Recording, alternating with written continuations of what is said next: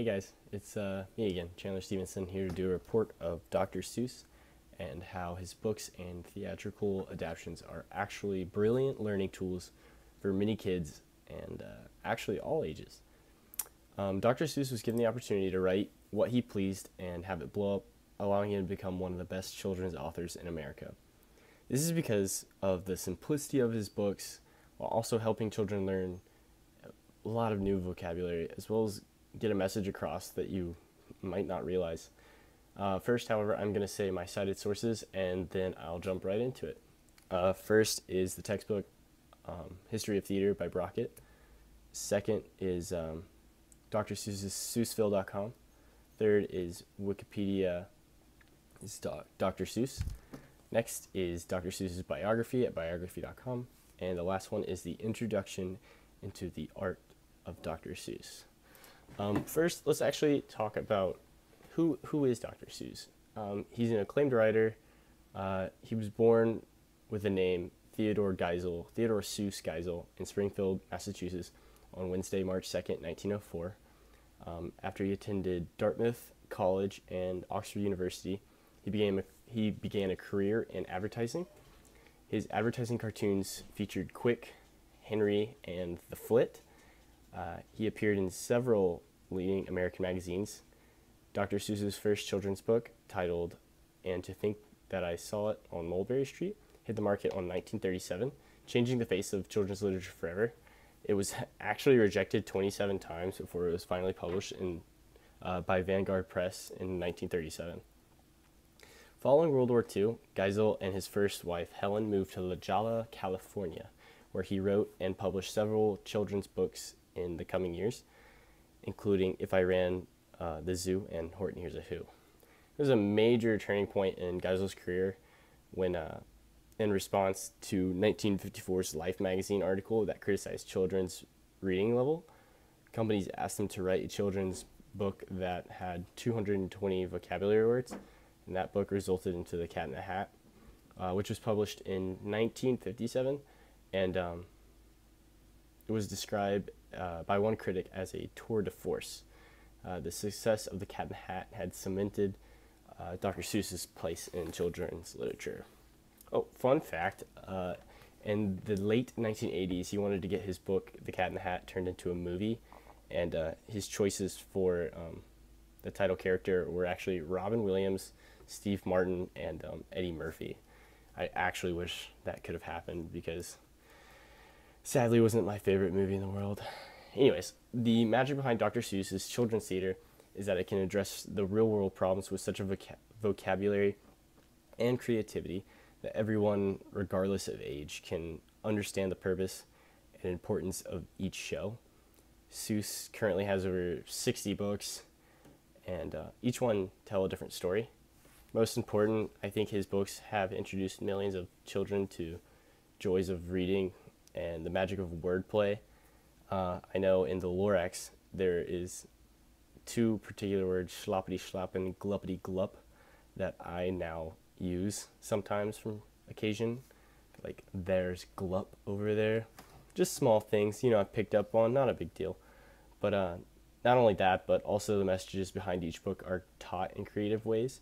For example, the Lorax, it uh, deals with deforestation and in my opinion, it's a quick and easy read, as of all his books, but they also have such very strong meanings, such as Lorax is all about deforestation and someone can be careless and selfish to not care about the once they're cutting down the truffula trees.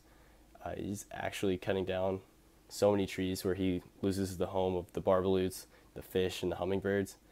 And uh, it teaches a lesson that every kid can actually easily understand, and that's a big deal because I know growing up, all I'd read was books as thick as my pinky, and usually those are books that have no meaning whatsoever.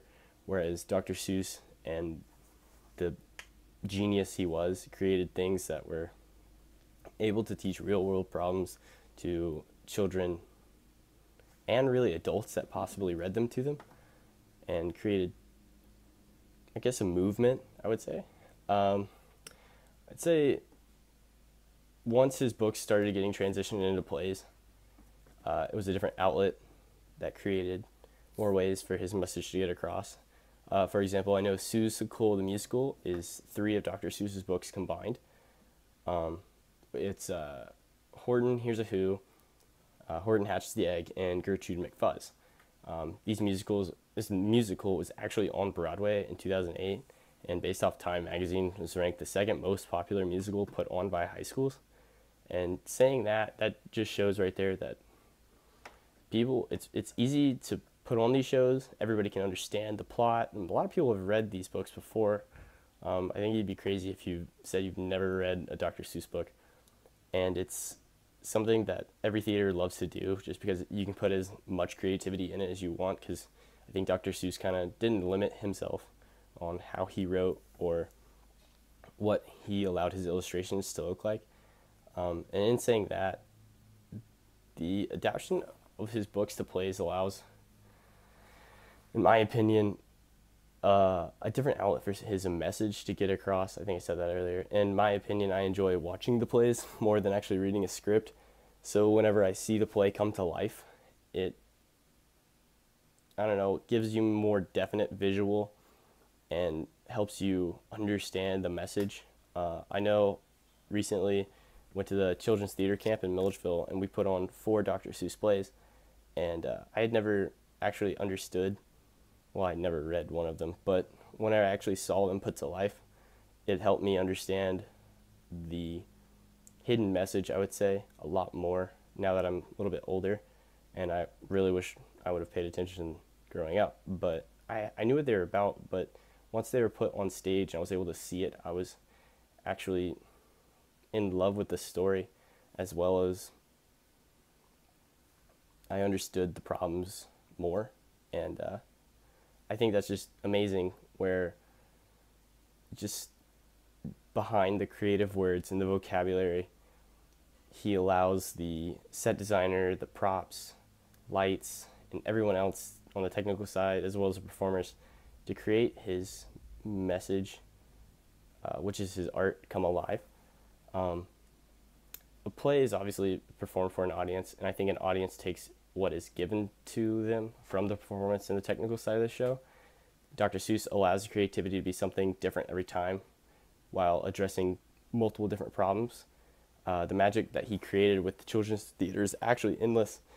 With over the 60 books he's written, uh, it covers racism, uh, Adolf Hitler, uh, deforestation, I said that earlier, and carelessness and selfishness. And these are all traits that I feel like any child growing up needs to not like Hitler, but like the carelessness and selfishness and all this kind of things, like something that needs to be addressed.